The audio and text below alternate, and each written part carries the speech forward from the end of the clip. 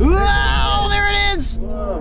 What? Totally got that. Uh, isn't that crazy looking? That's so gnarly. It did not bite me, but boy, did it make me jump. Does the worm feel any different when it does that? Yeah, I can feel its body like tense up. There it goes Whoa, again. there it is! Ugh. What's it doing? It's puking all over me. Ah, ah, gross. Oh, it stinks. Oh yeah, it does. Oh man, gross.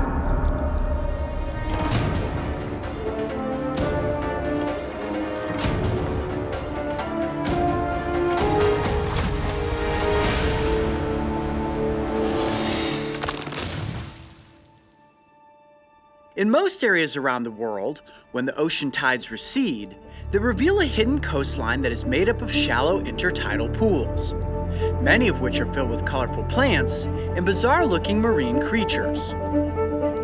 However, when the tide pulls back from the inlets and estuaries around Harpswell, Maine, you are often left with an endless expanse of mudflats. These exposed layers are formed when mud is deposited by the tide, and while they may look like a barren wasteland, they usually support a large population of wildlife. Today, the Brave Wilderness team will be joined in the field by Anthony, who is a professional licensed bloodworm digger. For nearly 40 years, he has been raking the mud flats of Maine, and on a good day, he can haul in around a thousand worms. All right, guys, so we have multiple cameras going today, and as you can see, it is still raining. Not too bad right now, but it's gonna be a slightly gritty episode, which is perfect because today we are looking for bloodworms. It's gonna be muddy, it's gonna be grimy, and if we're lucky, we're gonna find some of these worms that are then probably gonna end up biting me. Isn't that right? That's right. Okay, well, we're gonna leave the big cameras behind, and what we have here, check this out. This Whoa. is a bloodworm digging rake.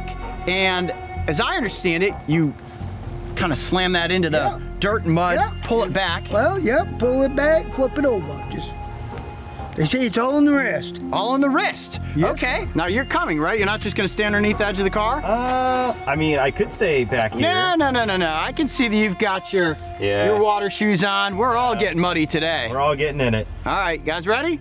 Let's do it. All right, Ready. let's go. Yep. Digging in mud flats is truly a dirty job. And believe it or not, bloodworming is a huge part of Maine's fishing economy as these marine worms are sold as bait. So whether you are catching the prized bloodworm or the slightly bigger sandworm, a heavy haul can equate to a pretty nice paycheck. However, the good news for any and all worms we catch today is that they will be released back into the wild. Now it's just a matter of getting into the mud so we can start digging. Well, you just let us know what you think the best spot is to start digging. That- See, no one knows. No one You knows. Never knows.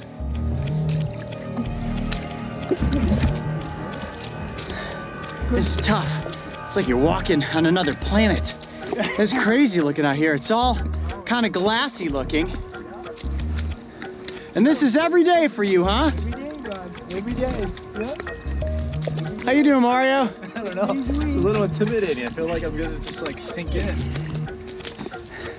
This is cool. I've never walked through anything like this before. Oh, I fell. Oh my gosh. I thought you're used to this stuff being from the Everglades. Uh, we don't have this in the Everglades. You want to wash your hand, bud? Yeah. Just wash your hand in that water right there. Just push it around. There you go. There you go. There you go. A little better? All right, that's a little better. Yeah, I have to keep Yeah, you need dry hands. wiping No, it's them. all I'm buddy, it's serious. I'm serious. No, I'm serious, but I go through this all the time. You wait. You're good, you're good. Okay, so guys, check this out. Hey, Anthony, I see there's like a bit of a waterway going through here. Yep, yep. What sort of area are we looking for to start digging? What? I mean, look at, oh, look at this. It's smooth mud. Is that Are worm? these worm trails? Nope, that's, that looks like, um, Oh, this. yeah, it's, Is uh, that a snail? That's a snail. That is a snail. yeah. Okay, so not worm trails. Well, I think this little area here looks like a good place to maybe start. Sure. Why don't you show me exactly what the method is for digging? Ready? Yeah. Oh wow, it just peeled back like that. Oh, there's a little worm. No, Where's that stick? no. Oh, it's heavy. See how this goes? Wow, it just But peels back. how it goes? And it's like digger cake. goes like this. Oh, ooh, ooh. I thought I saw one. Oh, what's that?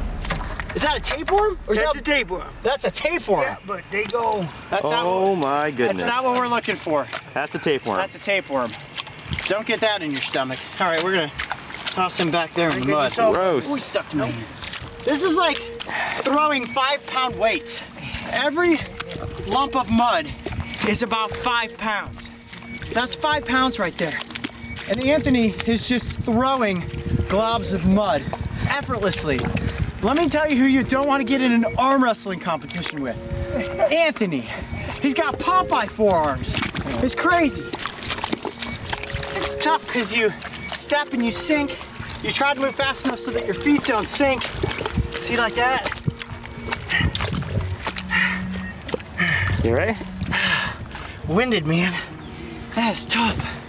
That's a lot tougher than you guys could possibly imagine. The mud is extremely heavy.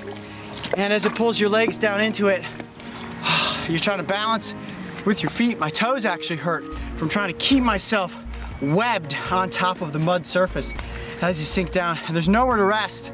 It's not like I could just lay down in this mud. Well, I could, but then the environment would swallow me alive.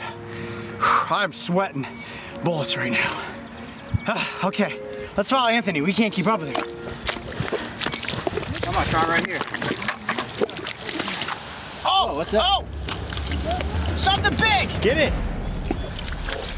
It's not a bloodworm. Is that a sandworm? Whoa, look at that! That's a beaster right there. But I don't know if it's a bloodworm. I don't see its head coming out. Ooh, I'm putting it in the bucket either way. You got a big one! We're on him. We found the sweet spot. It's the honey hole. Let me see.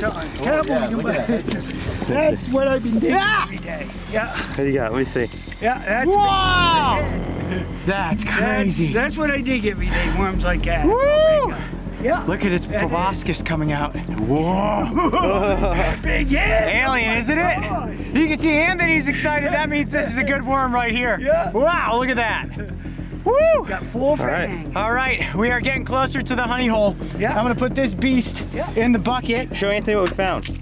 Oh, that's a sandworm. That's a sandworm? That's a sandworm. They bite too. Wow. Okay. Well, at least we found a big one. Woo! Hey, so mighty. Blood worming on the coast of Maine. Blood. Oh, there's a good one. You got one? Yes. Oh, that's a good one. Oh, Oh. a big one. Oh man. that's- Yes. Got one. Got one! See, my bloodworm and song brought him up in the mud. Woo! A little muddy, but it finally paid off. I have slung probably 150 globs of mud, and I finally, whoa, don't drop me, finally found my first keepable bloodworm. All right, let me put it into the bucket. Ready? We got Okay. it. All right. We've got bloodworms. We have a sandworm. At this point, I say we head back to a controlled situation and get these worms up close for the cameras. Woo! This was awesome. Oh man, I'm stuck in the mud. nice. All right, guys, so we're back at base camp, and what I have here are two buckets. One that is filled with worms, and another that just has some salt water. What I'm gonna have to do is dig through all this gloppy mud that's filled with bloodworms, rinse them off, and then place them into this clear container so that we can actually see them. You see, look in there. Oh, there's the big, oh, there's one of our big worms there. Is this salt water right here? Yes, this is saltwater. This is a marine species of worm, which means that they live in saltwater. If I were to actually put these worms in freshwater, it would kill them. So we do need to be rather gentle with them. Oh, there's a big one right there. Oh, that is, oh, that's one of the big, look at this. That's one of the big ones right there. Ooh, yeah. Oh boy. Yeah, that could give you a good bite. All right, get in there, buddy. Okay, I'm gonna move this bucket off raining. here. We'll get rid of the water bucket. And now we're gonna get up close with these worms. Now, we do have a pretty decent size ragworm here. Anthony also called these sandworms. You see that? I think it's crazy looking. right? Look at the iridescence to its skin. And you can see, if you zoom in there, all these little legs on the side, those are called parapodia. And that actually helps these marine worms not only swim, but also burrow. And this also will get extremely long. But that's about its most shrunken up state right there. All right, I'm gonna go ahead and put this one back into the mud bucket. Crazy. Ooh, What do we have next? Man, the moment we've been waiting for, the bloodworm, which is exactly what we are going out after today. I wasn't even aware that we would find other marine worm species, and we got a whole container full of them. Um, now, I'm gonna just dump the whole thing into my hand. Okay. Ready? Just so we can see what that looks like. Blah. Oh. They really look a lot like earthworms. Do they smell or anything? smell like mud. They absolutely smell like mud. And like most worms, they'll just kind of stay completely limp in your hand like that. And oh, I can feel them moving. They don't seem to move as fast as an earthworm. No. All right, I'm gonna just kind of single out the biggest ones. And you may be wondering to yourselves, oh, it's put out, that one's put out its mouth. Oh, that is a rather big one. Okay. There are one, two, three, four, five really good sized bloodworms, but I think the biggest are these two right here in the middle. So we're gonna pare this down. I'm trying to let them get comfortable and expand out. I also want to see if there's one that's going to perform for us with what we're all waiting to see, which is that weird alien looking head that they shoot out of the front of their face. I think face. that one. That one you just This touched, one right that there? one seems to be the most lively. Yeah, that one also seems to be the the largest in diameter. All right, we're gonna put these back. Now, one thing that I must note up front, I'm not going to intentionally try to be bitten by this worm, but this is one of the only venomous worm species in the world. There, right there, you see that? You see the head come out? They have a proboscis that they shoot out of the front of their head which has four fangs. Those fangs are made of copper and they're like this, right? It's like a grappling hook. Hold up, hold up. Like metal? Like metal, like the element copper. And those So it has metal teeth, it has metal teeth, like a Bond villain. like a Bond villain. You got it. Yes, this is like one of the most bizarre creatures. I didn't even know these things existed until we got here to Maine and somebody said, You want to go looking for bloodworms? And sure enough, this is that creature. Now, this worm is a predator. And when they're out hunting, they'll kind of slink through the mud and they're searching for crustaceans or small invertebrates.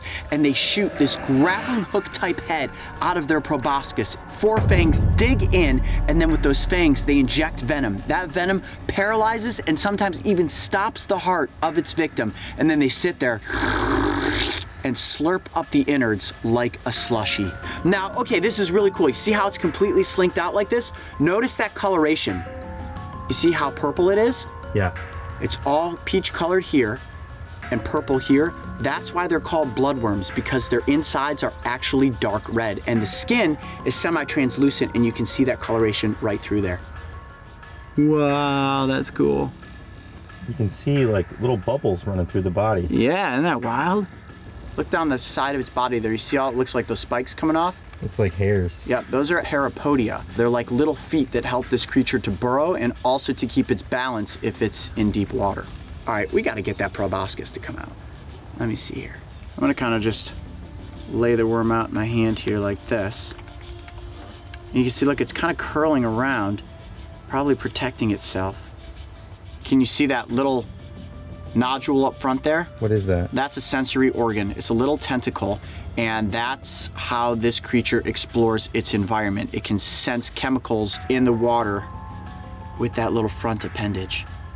Look at up here, you see all that purplish coloration? Oh yeah. And it has a lateral line that runs down the length of his body. See that real distinct purple line?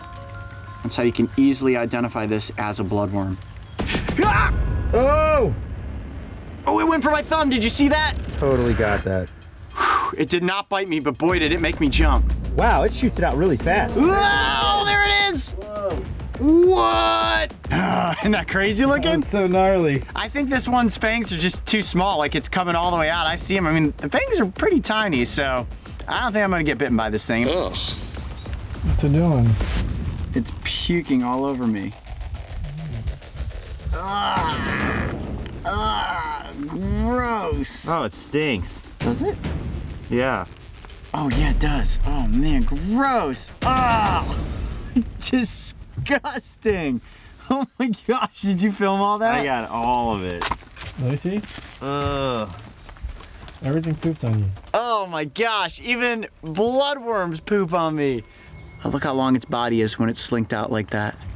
And just like an earthworm, if this marine creature is cut in any area above pretty much this line right here, it can regrow parts of its body.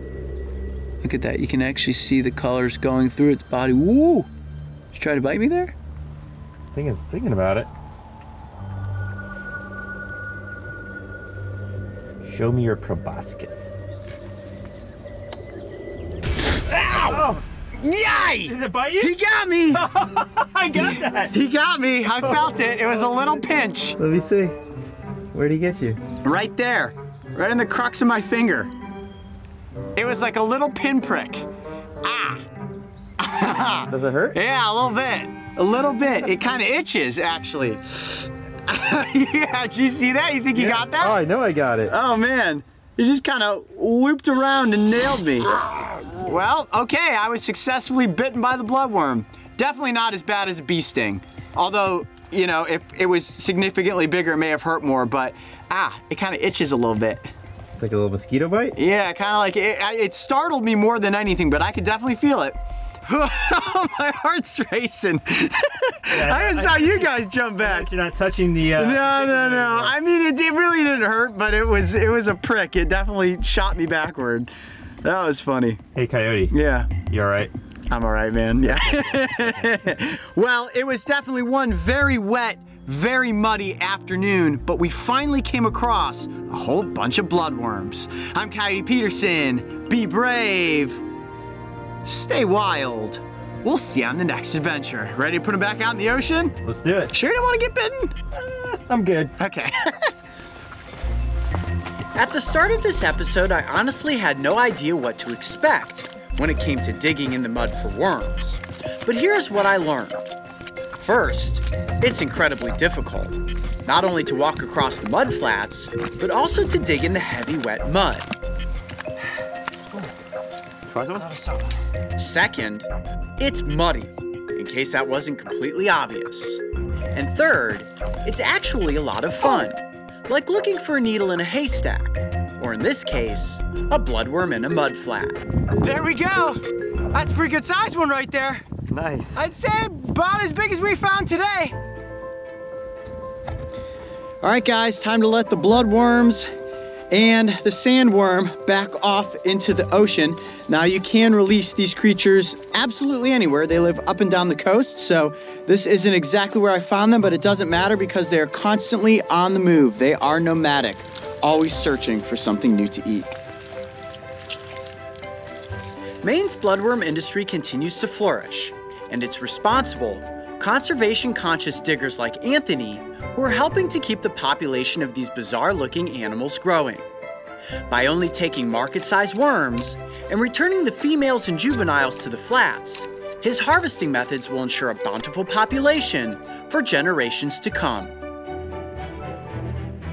If there is one ecosystem on the planet that is constantly changing, it has to be the tide pools. With every single rising and falling of the tide, new waves crash upon the rocks and alter the placement of plants and animals. Along the coast of California, there are a slew of creatures that you can find, if you know exactly where to look. Got a little striped crab right here. Oh, got it. There's definitely no shortage of crabs out here in these tide pools. However, navigating this terrain can be difficult because most of the rocks are wet and slippery. One of the toughest things so far for me in filming Beyond the Tide has been the terrain. I'm used to swamps and deserts. Everything here is rocky and slippery. It's all covered in a layer of, I guess it's some sort of algae, and using a lot of eye-foot coordination because I'm looking for creatures, and every step I take, your foot might slip off of something, and these rocks are extremely jagged. Really easy to get hurt out here. And I'm sure for you, Mark, it's even more difficult. Right now, you're balancing on these rocks just trying to get the shots. Yep. Show everybody at home. it isn't easy, is it? Nope. All right, well, let's keep going this way and see what we can find. Watch your footing. Oh, yep, see, there you go. I'm usually pretty good at finding animals in the field, but sometimes a wildlife expert joins us to help locate the species that can be very difficult to find. Today I am back out with tide pool expert Aaron Sanchez, who has been exploring these Southern California pools his entire life.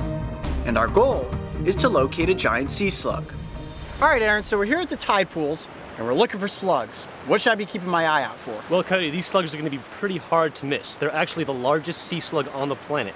They come to these rocky shores here to mate and lay their eggs. Okay, now when you say the largest, do you mean like five to six inches in length or are we talking bigger? We're talking probably almost a little bit less than three feet. A three foot slug?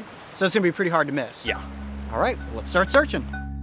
The search was on, and I was confident that I could come across one of these giants. I mean, if they're as big as Aaron says they are, spotting one should be simple, right? Hi, we've been searching for about 45 minutes now through all these layered rocks. I don't know, Aaron said it was gonna be easy. Nothing yet. We continued to search over jagged outcrops, in crevices, through knee-deep pools, and even under rocks. I'd say the odds of finding one of these slugs are slim to none. Tide's really coming in. Yeah, it's coming in big time, and all I've seen is crabs, crabs, crabs. Hermit crabs, striped crabs, purple shore crabs. No giant slugs. With the tide starting to come back in, it was looking like our search for the giant sea slug was coming to an end. But if anyone knows how to find a sea creature, it's definitely Aaron. Searching, searching. No big slugs. Oh, you got one? Come on, come on, come on. Right over here, guys. It's huge. Oh my gosh, look at the size of that thing! Wow! Dude! Yes! Well, that was one heck of a search. And there it is. Can I pick it up? You can. It's totally safe. And it's not gonna ink me. might be a little slimy, but that's it. Whoa, look at that. Whoa. All right, here we go. Oh my gosh, is it slimy? Oh, look at that slug. Oh my gosh, it is heavy. Jeez, this thing must be about almost 10 pounds, I would guess. Is that a big one, Aaron? Oh, it's a pretty good size, yeah. It's one of the bigger ones I've seen. I'm gonna let it stretch out on my arm, see if we can get it to fully elongate itself. Oh my gosh, it is so slimy. All right, now tell us about this slug, Aaron. Well, Coyote, what he's wrapping around your arm right now is actually his muscular foot. He uses that to get around. I can feel him gripping onto my arm. I mean, I can feel him actually like wrapping around me, and I can feel his little tongue under there. Can't bite, right? No, these guys are vegetarians. They mostly eat algae and kelp. Okay. And it does have an internal shell, correct, where Um, it has all of its organs? It does have an internal shell. It's kind of soft and made of protein. Okay. And that is actually what these extensions of its foot called parapodia are protecting. I can see why there's no way you would miss stumbling upon one of these. I have to admit, I was just over there talking to Mark. I literally said, I'm really doubting our chances of finding one of these slugs. All we've seen all day is crabs and smaller little brown sea hares. Which, by the way, we should grab one of those. Is there one over here? Let's see them next to each other. Yeah. All right, you got one of those brown sea hares? Okay, so this is this is cool, showing the comparison of the giant black sea slug next to the much smaller brown sea slug. And they're both called sea hares, because as you can see, those tentacles sticking up in the air, in the front of the head, look like rabbit's ears. I thought the brown sea hare was big. Yeah, seriously, there is no mistaking the difference between these two species. Wow, that thing is absolutely massive. It weighs about 10 pounds, and fully stretched out, it's about two feet in length. That is crazy, and it is so unbelievably slippery. It's actually really hard to hold on to it, and my hands and arms right now are covered in a slippery mucus. Now, are they toxic in any way? no, they're not. Okay, so I'm in no danger right now. So they don't bite, they're not toxic, they're just slimy and alien looking. So how do these defend themselves against predators? Well, you know, these guys don't have as many predators as the California sea hare, probably due to their size. Okay. So they would generally just kind of stick to where they are, and they're going to be pretty well hidden in these rocks. I can't even imagine what would want to try to eat this. Man, it's just so amazing how big this slug is. When you said to me, yeah, we're gonna go out, we're gonna catch a giant slug, I honestly didn't believe you when you said they could grow to be about two feet in length. And until I actually had this animal in my hand, really on my arm, I didn't believe it. This is absolutely amazing. Well, Aaron, thank you so much for having us out today to explore the tide pools here in San Pedro. I think there's no question about it. This is one big black slug. I'm Coyote Peterson. Be brave. Stay wild. We'll see you on the next adventure. We gently placed these two slimy slugs back into their respective pools and watched as they slowly returned to the wild. I think it's fair to say that these creatures are as primordial as it gets. And while they may be incredibly bizarre looking, they are an important part of the tide pool ecosystem.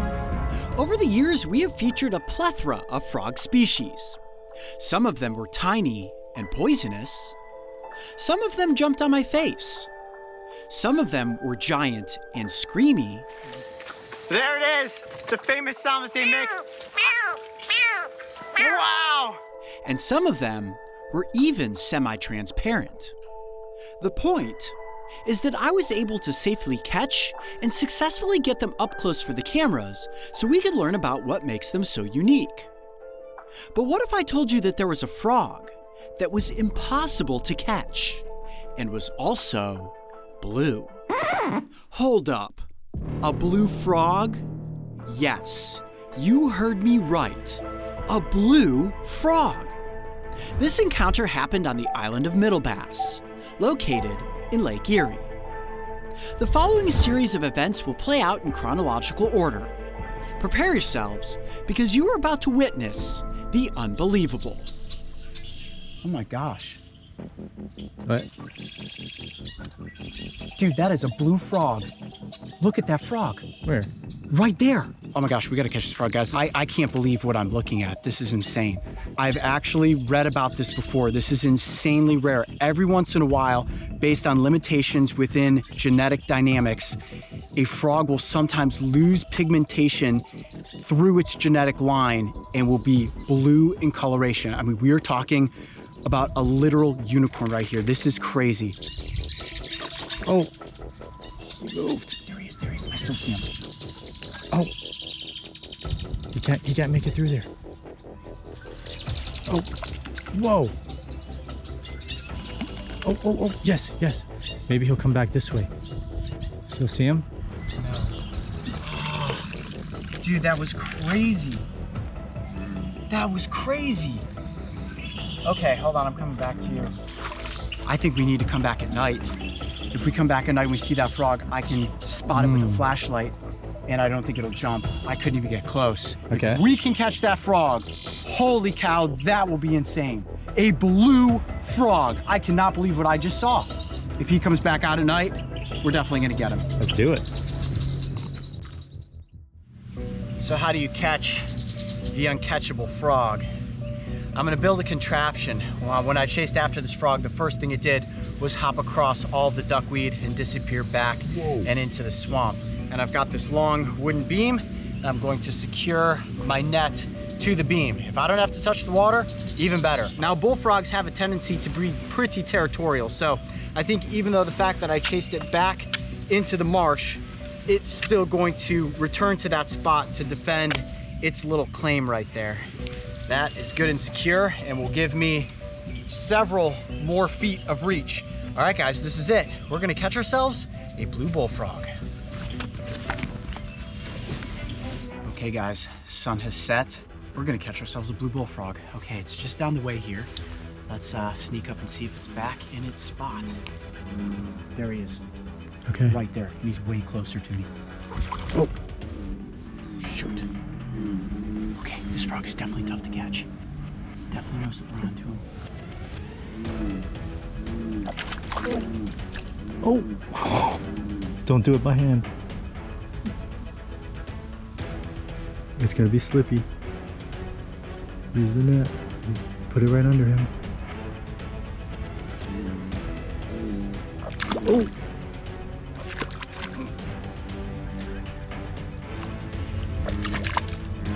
Okay, okay. You could go from behind. Hang on, me get the light on him. There he goes, there he goes, right there, right there, right there. He, he's going. Oh. Oh, oh, there it goes. I see him, I see him, I see him. Still there. Still there. I gotta go on the other side of that fence. Okay. I think we're gonna get him. The length of the net is now actually hurting me. Oh, oh, oh, oh. I see him. No. No. Dang it. Way back in there. Did we lose him? I lost him. Dang it! It was literally inches from my hand right here. I should have gone for the hand catch, man. I should have gone for the hand catch. Dude, he's all the way back there in those reeds. I can't get him. Ah! But, but, here's the thing. We tried to catch him in daylight. He went all the way back there and came all the way right back to this spot. There's a good chance this frog will be back. I think I gotta catch him by hand. He's too smart for the net. This frog knows exactly what is happening. He's impossible to catch. This is crazy. Absolutely crazy. Okay, this is day two. We are back the spot where the blue bullfrog was spotted yesterday, and this morning it has returned to its territory, which certainly proves my theory that this frog is running this little pocket of water. Now, I can see the frog. I'm not going to try to catch it during daylight. It is way too smart. This may be the smartest frog I've ever encountered. I mean, it was playing cat and mouse with me last night. It was just a game. It led me back into the reeds. I got bitten up by mosquitoes. It was rough. I've never had a more difficult struggle catching a frog. So what we're gonna do is wait until sun gets low in the sky again, just at sunset. When this frog is back in the spot, I'm gonna come out and I'm gonna take another attempt.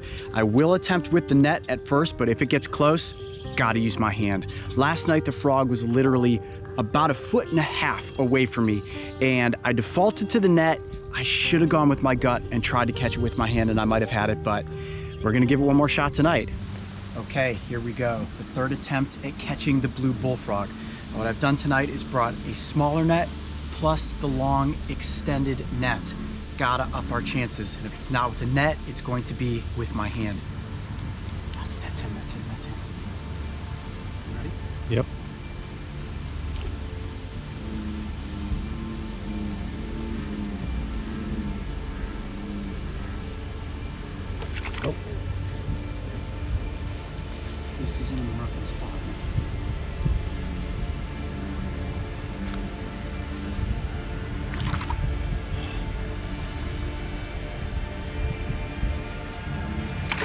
You got him. You got him. Oh, whoa, whoa, no! No! No! No! What? No! Oh my gosh. Dude, you had him. Hold on. Let's rewind and slow it down. Look at the evasive maneuver this frog pulls off as it springs from inside the net and does a full nosedive back into the water and disappears beneath the duckweed. Now look at this freeze frame. Zoom in. My hand is less than an inch away from making a swooping and unbelievable catch. But I missed it. Ah, it was so close. Dude, I had him. I know, I saw him. Are you kidding me?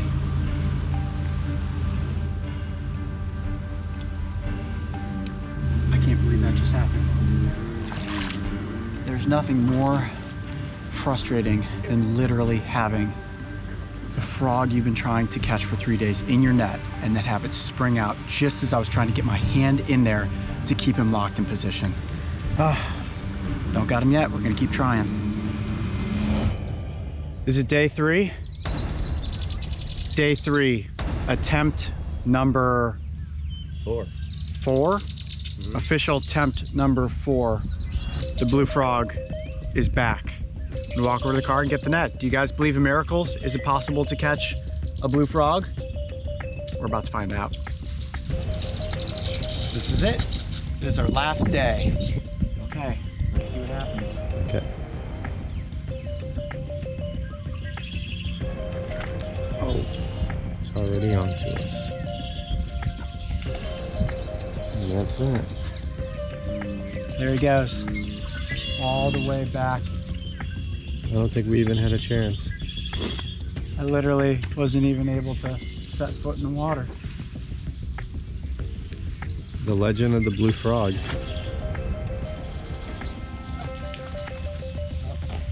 There he goes. Went back. That's it. The blue frog is officially uncatchable. There is a frog that is not capable of being caught by Coyote Peterson. Well, maybe we'll have to return to Middle Bass Island at some point to see if the blue frog still manages to evade capture. I'm Coyote Peterson. Be brave. Stay wild and impossible to catch. We'll see you on the next adventure. The legend of the blue frog persists. Will we catch Bluey on our next adventure? Stay tuned. You're my boy, Blue. You're my boy. In the summer of 2020, I came upon a sight I never expected to see. Dude, that is a blue frog.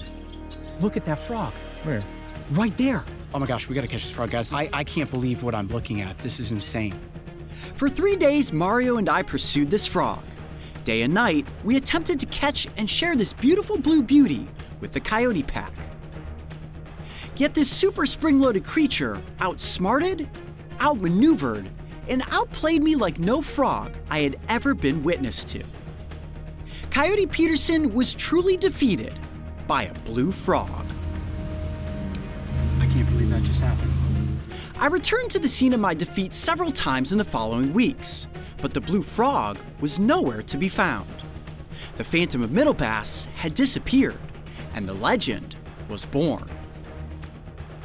Then, on a random trip back to the island, without any expectation of seeing this legendary frog, and with no proper camera team, a new blue was spotted, and I totally redeemed myself.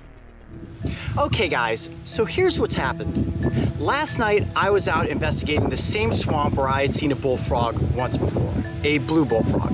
You may remember an episode from a few weeks ago called Blue Frog Must See It to Believe It. Well, I didn't anticipate seeing that frog again considering I had scouted one other time. I was back last night and lo and behold, I found a different blue frog. No, this is not the same blue frog that evaded capture last time. This is another example of a frog that has gone through a color mutation. Now, it's not so much why is this frog blue, it's how did this frog become blue. It is blue because it has a color mutation known as axanthism. Think of it like this. If you're mixing colors together, blue and yellow make green. The base layer of bullfrogs is actually blue, but this frog lacks a yellow pigmentation in its skin. If the base is blue and the second layer is yellow, when those mix together, that is why we perceive frogs as being green. This frog has a lack of that yellow pigmentation, which is what makes it appear to be sapphire. Now, a color abnormality like this can be rather frequent in nature, and it happens quite often in different amphibian species, not only in frogs, but also in salamanders. Although scientists predict that finding a blue bullfrog is about 1 in 30,000 frogs. So I definitely consider this quite the anomaly and a pretty incredible find. Uh, the reason that I'm guessing that there is genetic mutation happening here on Middle Bass Island is because this is a very isolated population of bullfrogs. There are very few predators other than herons and snapping turtles in this environment, which is allowing these frogs to just continuously reproduce. There are hundreds of thousands, if not millions of bullfrogs living in this marsh. So after a while, it's not unlikely that there's going to be some sort of mutation that happens where you have a color variation like this. I think we all remember the sapphire crayfish, and I think it would be uh, rather fitting to call this the sapphire bullfrog. But just so we're clear, this is not a new species. It is a true bullfrog, it just has a color mutation. Uh, the more this frog is out in the sun, warming itself up for the day, the brighter that blue color is going to get. When this amphibian is cold or it's hunkered down, they have the ability to shift the chromatophores in their skin, which of course can help keep them more camouflaged. Now the problem a blue frog like this faces is that it cannot camouflage properly. I'm actually really pleased to see that the frog has grown to this size to begin with. A lot of animals that do not have the proper coloration for their environment end up being easily predated upon by other predators. Now, the way that I caught this frog, which actually happened off camera, is I did shine it with a flashlight, but it wasn't in the water, it was actually up on land. I used the long extendable net, got the net over top of the frog, it was able to quickly pounce on top of it and get it scooped up. What I wanna do now is give you guys an up close comparison between the blue bullfrog and a normal green bullfrog. Now, these are the exact same species, about the same size, but you'll notice how different looking the blue mutation is from the green one.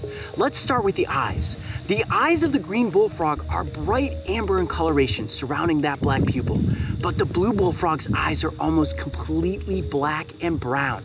That again has to do with the lack of yellow pigmentation in this frog's body. When it comes to camouflage, there's no question about it. The green frog is gonna blend in much better within a swamp or marsh environment with lily pads and duckweed. The blue bullfrog, especially when you turn it sideways like this, you can see is so much more likely to stand out amongst a green environment. My theory on that, as to why I was unable to catch the blue bullfrog last time, is that they're more agile and more in tune with any movements within the environment. The second they feel the water shifting or a difference between light and shadows, they immediately think, oh no, I'm no longer hidden, something's getting close, it may eat me, I better spring off into action and find myself a better hiding spot. I wonder if they're talking, saying to themselves, what are we doing right now? Are we being filmed? Were we abducted by aliens? Are we about to be famous on YouTube? Without question, this blue bullfrog is probably going to be the most famous frog we have ever filmed. Well, it's taken me several trips back to Middle Bass Island, but I was finally able to find and successfully catch the one and only blue bullfrog. I'm Coyote Peterson. Be brave. Stay wild. We'll see you on the next adventure. All right, time to get these two hoppers back off into the swamp. A quick search of the internet will reveal that several blue frogs have shown up in 2020, including specimens sighted in Texas, Indiana, Louisiana, Iowa, and of course, Ohio. Some say these frogs are one in a million, which is probably pretty accurate considering the number of tadpoles that hatch out and grow into frogs every season. Yet while it is rarely witnessed due to the elusive nature of most amphibians, axanthism is relatively widespread in salamander and frog populations that have a limited gene pool, like frogs isolated to an island. For me, the summer of 2020 will always carry with it the memory of the blue frog. And if you ever get the chance to visit Middle Bass Island and find yourself walking along the marsh, who knows? Maybe you too will be lucky enough to catch a glimpse of the sapphire bullfrog. There's a famous song that goes, Country roads take me home to the place I belong, West Virginia. And on this adventure, we will be following an old gravel country road that will hopefully take us to the place that one very rare creature calls home. This is West Virginia. First time I have ever filmed in this state. Many creatures we can come across. Now it's just a matter of taking this gravel path further into the wilderness and then we'll break trail into the underbrush and see what we can find. Are you guys ready? Let's do it. All right, let's go. Today we are working alongside field herpetologist Tim Brust, who has spent many summers researching the various creatures that call this wild and wonderful state home. And while he specializes in reptiles and amphibians, today we are after one incredibly elusive crustacean that for now we will simply call the blue crayfish. This is cool. We have a little stream system that is moving right through the middle of the forest. This is actually a great place to look for small woodland frogs and salamanders. Look at this. Most of the time you imagine crayfish living in streams and rivers. However, the species we are searching for today is a variety of burrowing crayfish that lives underground. They can be found in areas known as seeps, which are defined as a wet place where groundwater reaches the Earth's surface from an underground aquifer. Similar to the fully aquatic crayfish species, the burrowing crayfish also hides under rocks. So it was just a matter of flipping the right one. So Tim, this is what's considered seepage. Here, Mark, take a look at this. See all this water here just in this low spot? Yeah. This is actually seeping out from the hillsides, right? Yep. So Tim tells me that this rock right here is a great example of something we should flip that may have a crayfish underneath. And I can see this is all real moist right here. You see all this water? It looks like we're just on leaves, but you peel the leaves back and you've got water. So there could actually be a crayfish under this rock. Oh, a lot of water there. Guess I just put my hand in there and see if there's anything in it. Oh, there's definitely a burrow right there. Oh, but no crayfish. All right, let's keep going. From rock to rock, we searched, gently flipping each one and placing it right back in the exact same spot so that we did not alter the design of the environment. Oh, jeez. Whoa, what is that? That's a huge slimy salamander. Oh, and it is slippery. Oh, come here. Got it, got it? I got it. Yes. Wow, that is an enormous slimy salamander. That's probably the biggest one I have ever seen. Now they're called slimy salamanders because ugh, they excrete a slime from their skin. It's almost like a slug. It is very, very sticky. Let me turn you like this. You gonna sit up on my fingers there? Wow. That is a giant salamander. Much bigger than the salamanders that we catch in Ohio. And look at that cool patterning. Almost looks like the spots of a spotted salamander. Now this is a lungless salamander species. They actually breathe through their skin. So I don't want to handle it for too long. And you can see I'm trying not to actually handle it, like grasp onto it because I don't want to take moisture from its skin. But just handling it a tiny bit and my fingers are extremely sticky. Now one cool thing about salamanders is that they can actually, well, most varieties can detach their tails. It's called caudal autotomy, the same thing that lizards are capable of doing, and that helps them escape from predators, and then that tail will rejuvenate itself. Well, what a great find. It's not a blue crayfish, but still pretty cool to get this salamander up close for the cameras. All right, I'm gonna dip it in water, place it back under the rock, and we'll keep searching. Sound good? Great start. All right, here we go. Yeah, here, come here, check this out. Oh, come on. Oh, I got one. Do you? I got one. Oh. Yes, but it's not blue. It's a crayfish, but it's not blue. Yeah, let's throw it down take a look. Oh, he's rearing up with those claws. Look at that. Ah, ah, ah, oh man, every time. Yep, he's just holding on with those pinchers. Oh, the next pincher's about to pinch me too. All right, little buddy, I appreciate that. Can you uh, call ahead to some of your cousins who are blue? That's what we're really looking for. I knew I was gonna get pinched. Oh, man, it's one cool little crustacean though. A little fossorial crayfish. All right, back under the rock with this crayfish. We're gonna continue searching. You can flip rocks for hours and come across nothing. But that's what makes it fun, because there's always going to be another rock. And all it takes is flipping the right rock to uncover a jewel of the wilderness. I'm telling you guys, you're not gonna believe how blue this little animal is until you actually see it. Actually, this rock right here, before we walk past it, looks perfect. But that's a huge rock. I think you can do it. Muscles, come on. Oh man, I don't think I can, You've been hitting the gym. I don't think I can lift that one. That's a two-hander. That's a weird beetle. Need to see even see if it's possible. Oh yeah. Oh, yeah, it's gonna be a whopper. Let's do it. That's a big rock right there. All right, here we go. I'm gonna lift it. You ready? One, two, three. Oh, oh. I got one. I got one. Oh Holy God. mackerel! There it is. Whoa! That is a blue crayfish. I told you to go for that rock. Heavy rock, and it paid off with a blue crayfish. Look at that thing. Okay, I'm gonna leave this rock position just like this. Here, let's come over here. Let's back up to the trail. Wow. Yeah, this is good. This is good. Look at that. Can you believe how blue that crayfish is? Hold on. I'm gonna turn it like this and kind of hold it by its tail. There it is. The sapphire of the West Virginia hillsides. It is so blue. I can't believe it. It is as blue as the sky is. Look at that crustacean. Wow. That must be the coolest looking crayfish I have ever seen. Now, this is a species that is subterranean, which means that they have burrows that can go down as deep as eight feet under the ground, and they will come up into those little pools of water underneath the rocks to search for food. Now, these crayfish do not grow to be very large. This is about average size, and it is a female, and the way that I can tell that is by looking at its underside. It does not have these little kind of grappling legs underneath there where if it was a male, it would use to grasp onto a female. And I can also tell that this one has a regenerated claw. If you didn't know this, most crustaceans, especially crayfish, are capable of losing claws and then they regenerate them. So this claw right here is a little bit smaller than that claw. So at some point, a predator likely tried to eat it, it dropped its claw, and then it managed to escape. And now that claw is growing back. So I heard that these crayfish, they can actually drown in water. So you'd, you found one of these, you wouldn't want to release it in the stream.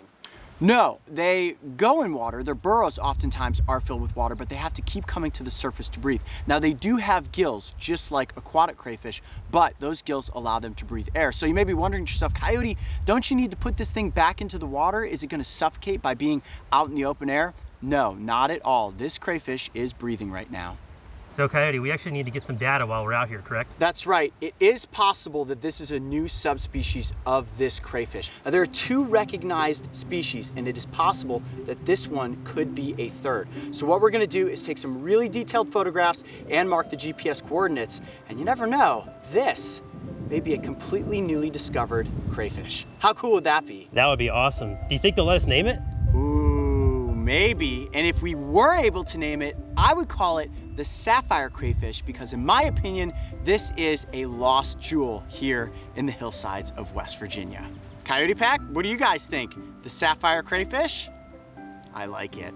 Well, I would say it was a pretty epic adventure today. We flipped over many rocks, we found salamanders, we found a brown crayfish, and then of course, the last largest rock revealed to us this little blue beauty. I'm Coyote Peterson. Be brave. Stay wild. We'll see you on the next adventure.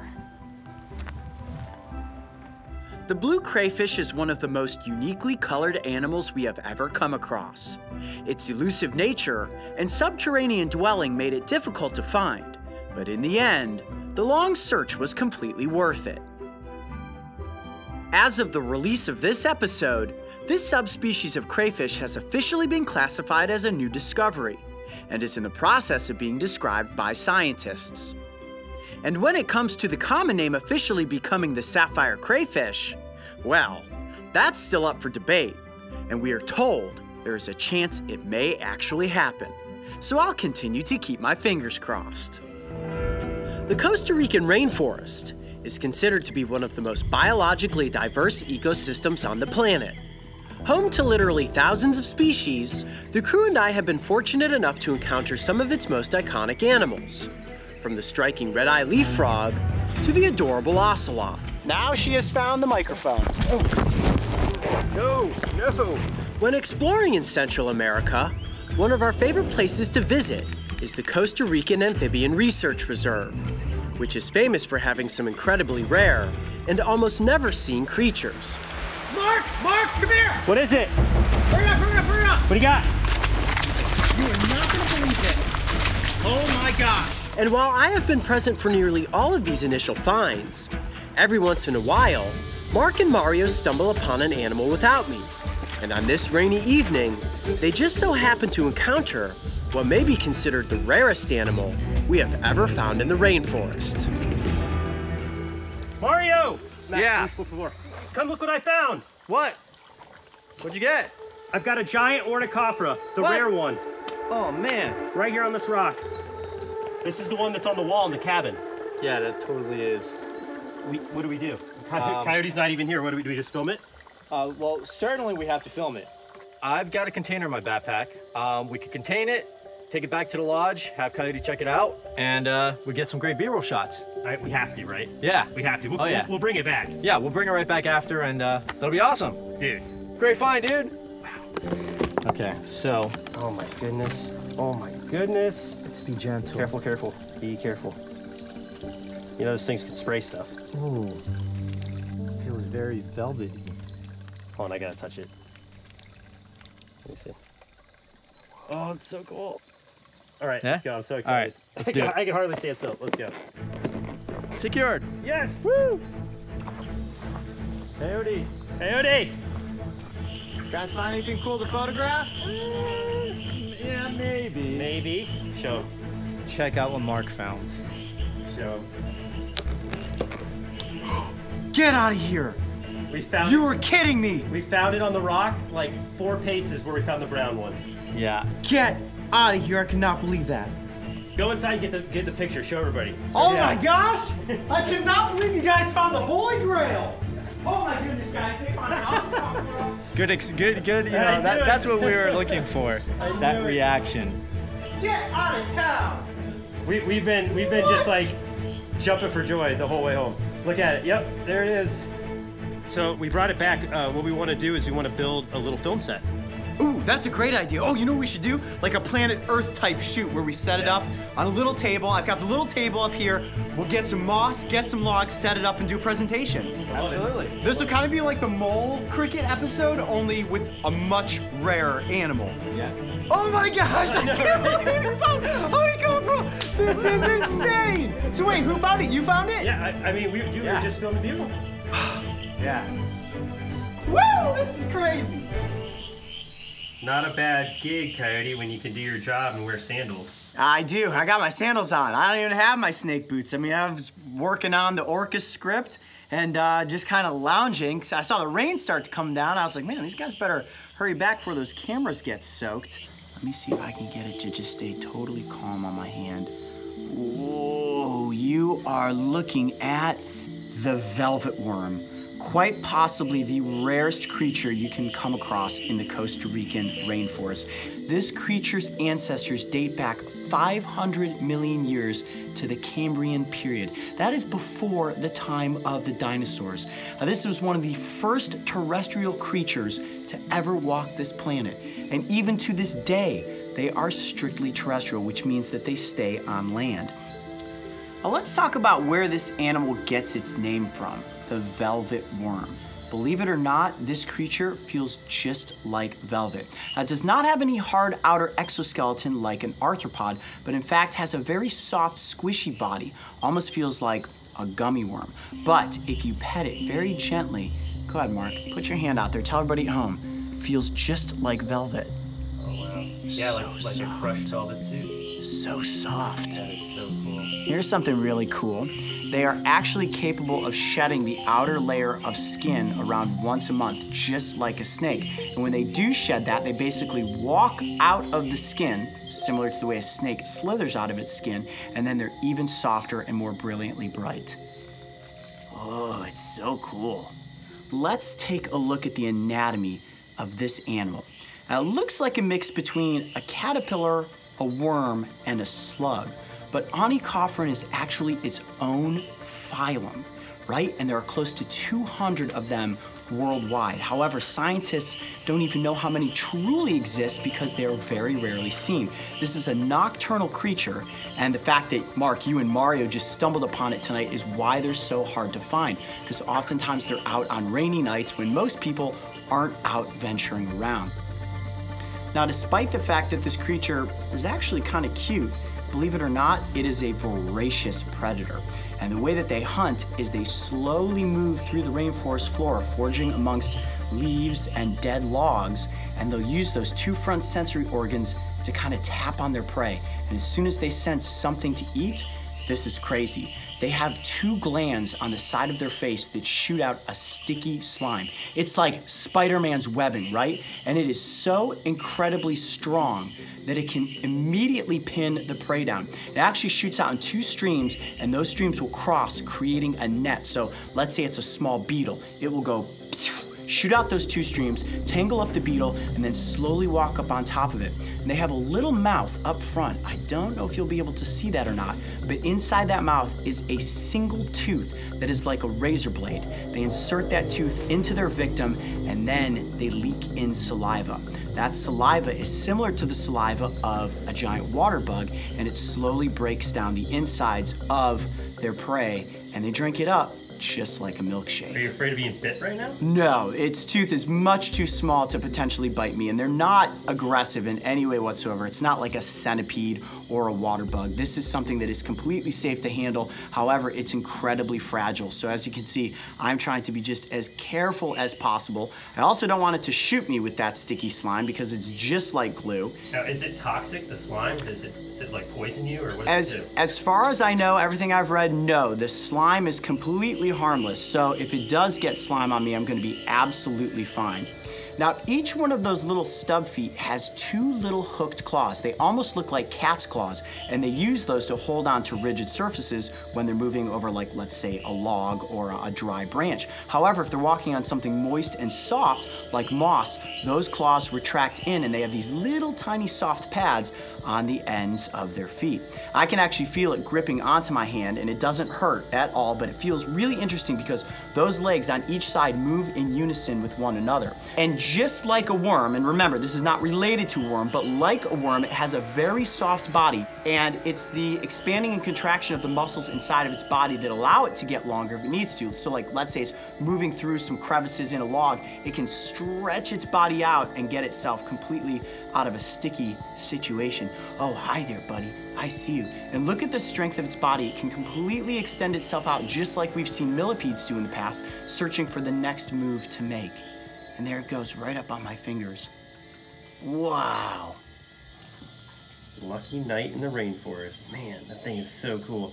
All right, well, you built a pretty awesome little set here, Coyote. Yeah, I think this is a good opportunity for us to get this velvet worm down on the miniature set and start filming some epic B-roll. You guys ready? Let's do it. All right, let's get the voiceover going and turn this into a Planet Earth episode. The red velvet worm is a creature that is almost never seen in the wild with human eyes. Their elusive nature and nocturnal lifestyle, combined with their tendency to exist in only remote areas of the rainforest, make encountering them nearly impossible. To our knowledge, we are one of the only teams to have ever captured video footage of this animal. So having this opportunity was truly a once in a lifetime. This lucky moment will now be held near the top of our greatest memories we as animal enthusiasts will forever carry with us. And we are incredibly proud that we have now been able to share this encounter with each and every one of you.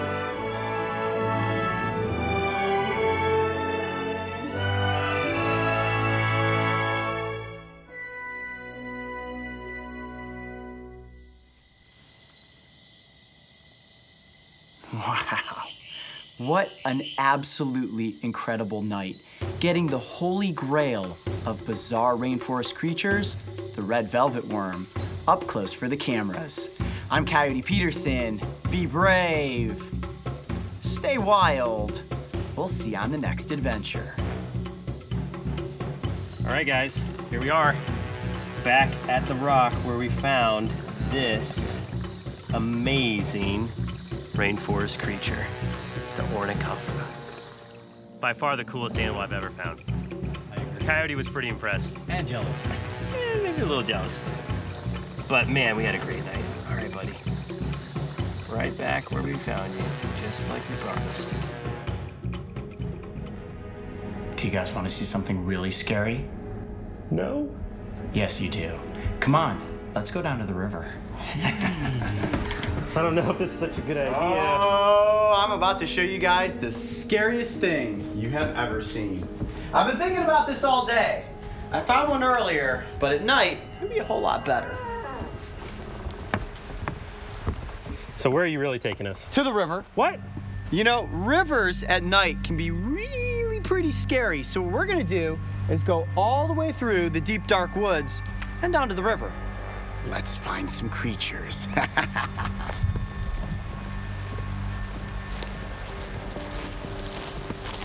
Ooh, What do you see? eyeballs. Where? You see that way out there? Where? Those are eyes. Let me see if I can see that on camera. What is that? Mario, what is that? Oh, I can't see him on camera. Mario, What? wildlife biologist, identify, identify. Those are eyes, guys. Uh, well, most logical Oh. thing is a deer, but we are in Bigfoot territory. It could be a Sasquatch. Come on, let's go that way. We're being watched, guys. We're being watched. Mario. We're being watched. I watched. can see the eyes. Oh man, there's like a creepy old shed out here. Yep. You don't want to go in the shed. I think we've seen too many horror movies to know how these all begin. It Kind of feels like that, doesn't it? Yeah, an old rusty shed. An old shed in the middle of nowhere in West Virginia. This never ends well for the people that go out with cameras and flashlights, does it? Yeah. See all this moisture in the grass? This means that they're going to be out and about tonight. They? It's a really good sign. Yes. So we're- there's more than one? There will definitely be more than one. But all it's going to take is one to find out how bad the bite is.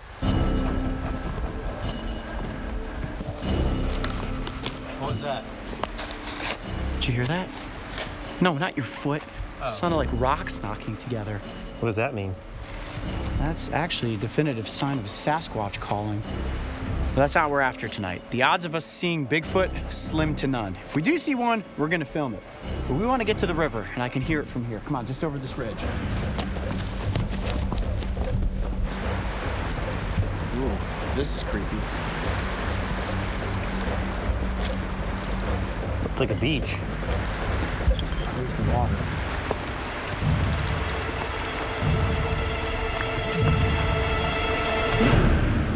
I thought I heard something, sorry. See all kinds of reflective eyes. All right, I need a big flat rock.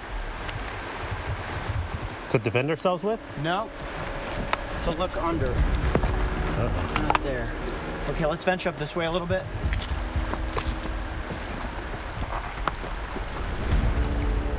No, nothing. Oh. Oh!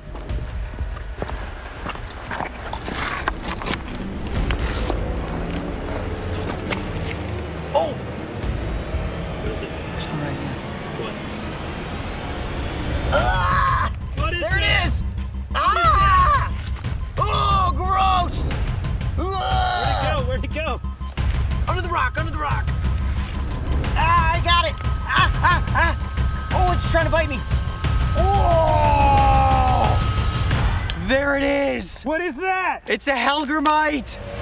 Oh, mackerel. That's a big one, too. Whew. Wow. All right, guys. Well, if you remember an Instagram post I made a few weeks ago of a creature that looks. Ah! It's biting me. Okay, they do bite. There you have it. Everybody want to know do they bite? Yes, they do bite. And it is latched onto my finger right now. Oh, that hurts. But it's not breaking skin. That's, uh, oh, ah, ooh, it's got a hold of me. Now, the Hellgrammite, can you see it okay there? Oh, yeah. It's got a hold of me. The Hellgrammite is actually the larva stage of the Dobson fly. Now, the Dobson fly, you may be thinking to yourself, oh, well, is that maybe some beautiful butterfly type creature? No, it's about as wicked looking as this thing is, only with big wings and enormous front mandibles. However, those mandibles aren't strong enough to pinch and bite onto anything like the larva stage. Now, I'm gonna turn it slightly like this. Wow. Oh, it is just latched. Ah. Now, if the bite isn't enough, what they will also do to deter a predator is squirt a nasty smelling musk from their rear end. And it actually smells just like human feces and, Ew, what? Smells Oh. like smells like oh, like poop. Exactly like poop. And it has already squirted musk all over my finger. Oh, it absolutely stinks. Ah, ah, ah, ah, ah, biting down harder. That is about the most alien looking creature I think I have ever come across. Like something out of the show Stranger Things. Okay, it's been latched onto my finger for a while now, and what I'm gonna do is just gently dip it into the water. Now, they are semi aquatic, so putting in the water isn't gonna cause any issues, but I do wanna get it off of my finger. All right, here, try this. I'm just gonna set it down gently. So, just like I get crayfish off of me. Oh, he's not letting go. Let go. Ow! Oh, it's biting out harder. Ow, there it goes. Got it. Okay. Ah!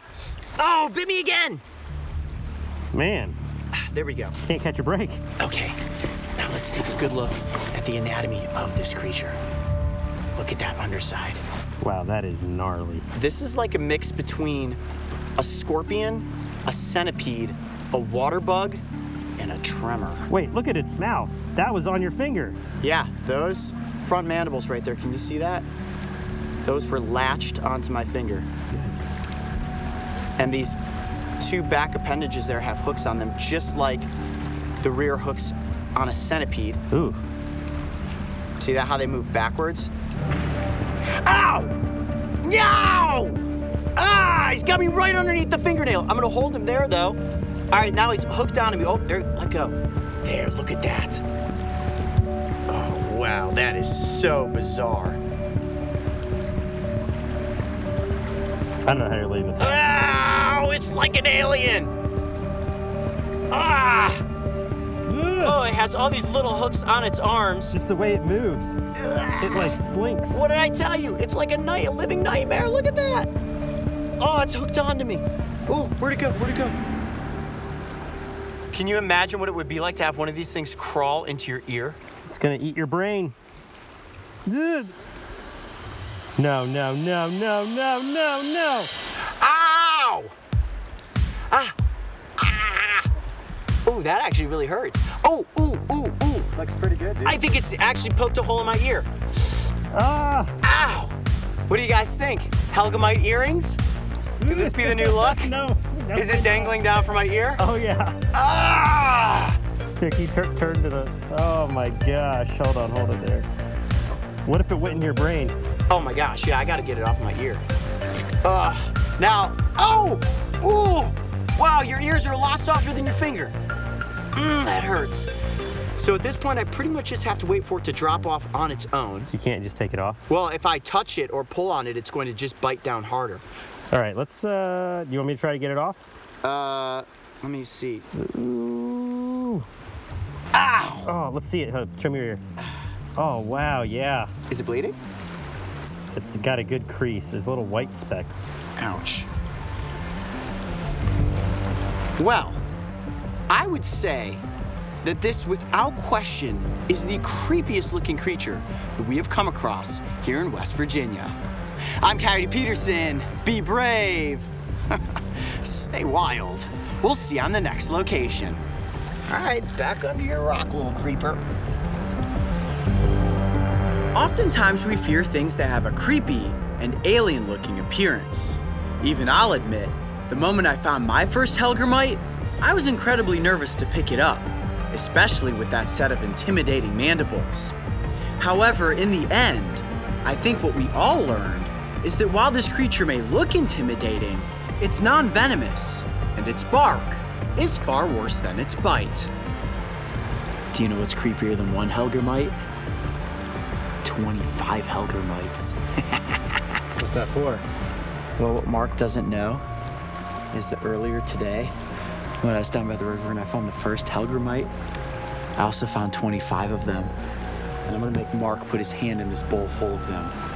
Hey, Mark! Really? Well, that's cool. So, you know how earlier we started this and I was like, hey, you know what I found today? Mm-hmm. Something really gross. Yeah, I know the Hellgrammites. Yeah, the Hellgrammite, right? And that was super gross. Well, I kind of didn't tell you the whole truth. Okay. I found one Hellgrammite, and then I kept flipping over rocks, and I found 25 Hellgrammites. Dude.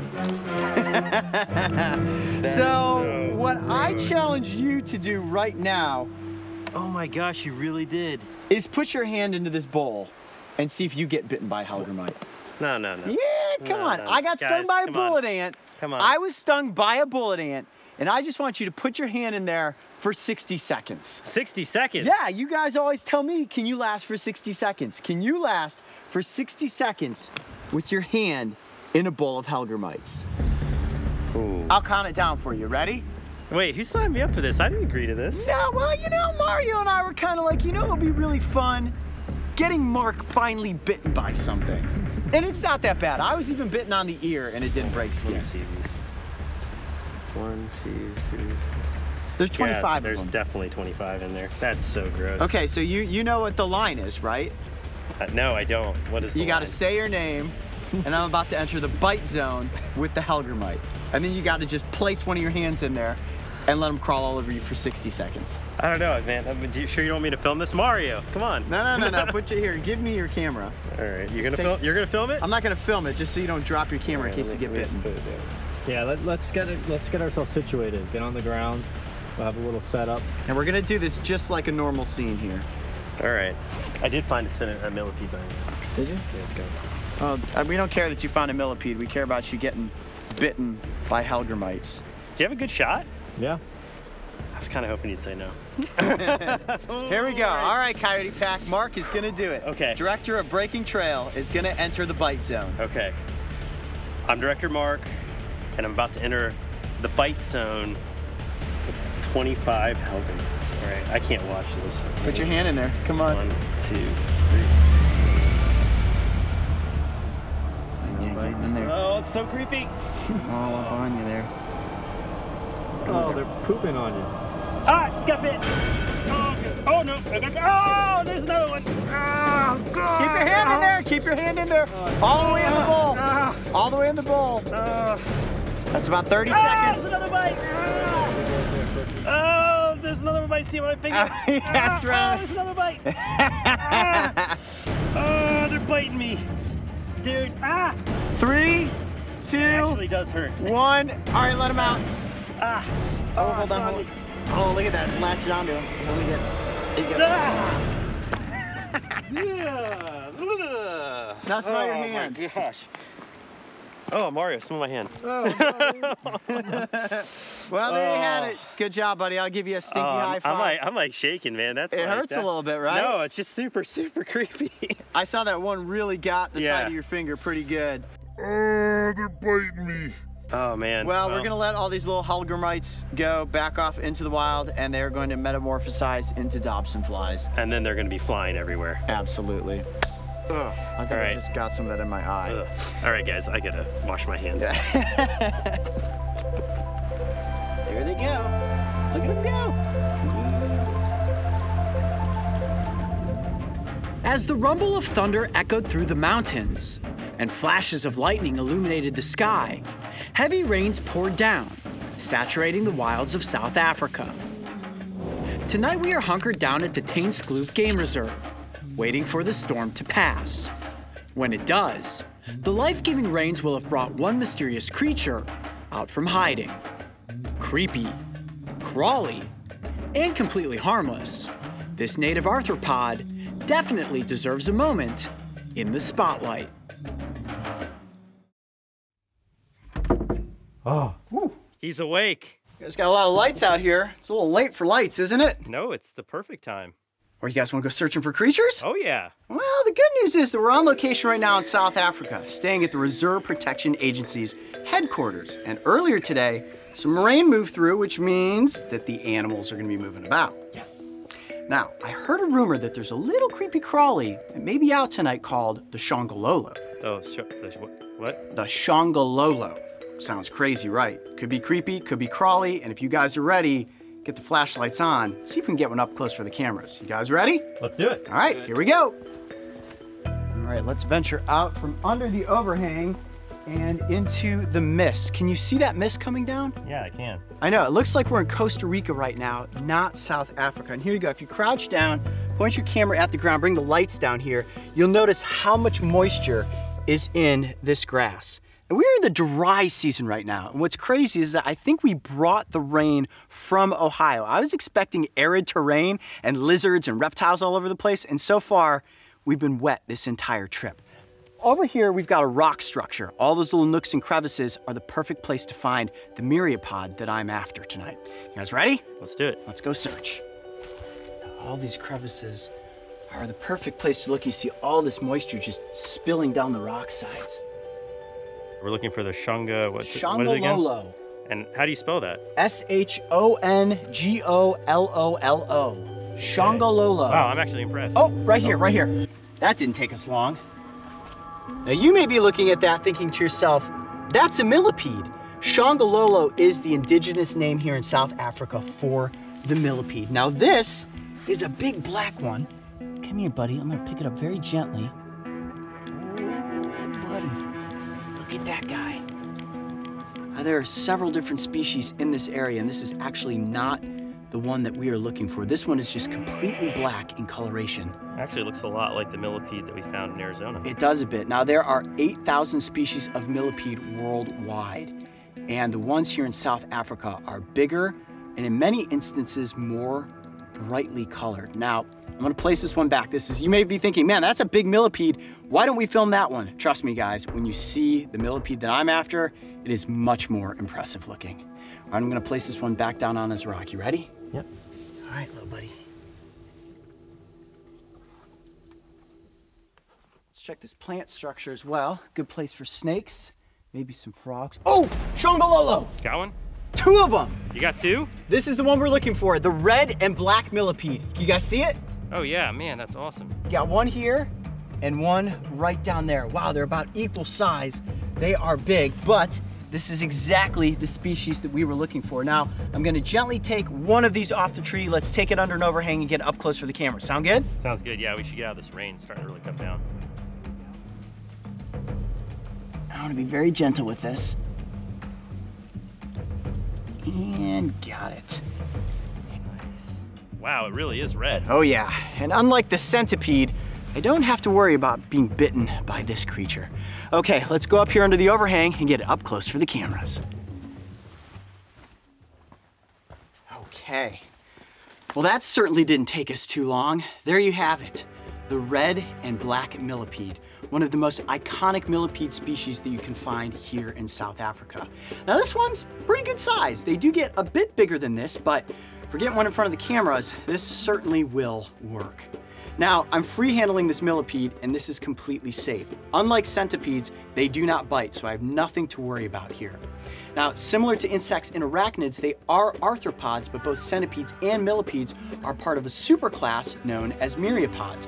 To some species, they are considered toxic. However, to humans, if you eat one of these, you're gonna get sick, but it's not gonna kill you. Not that I can imagine you'd ever want to eat a millipede.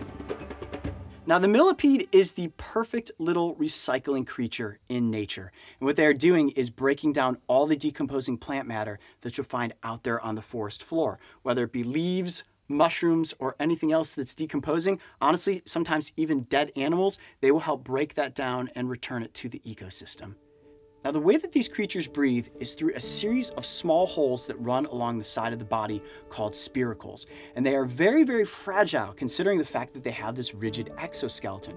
If it gets too hot, so if this creature finds itself out during the daylight, it can actually cook from the inside out. It's also very susceptible to water. So if it gets into an area where too much rainfall comes down, they drown very easily. So while it may be prehistoric looking in nature and it's been here for millions of years, it's actually pretty fragile when you when you break it all down.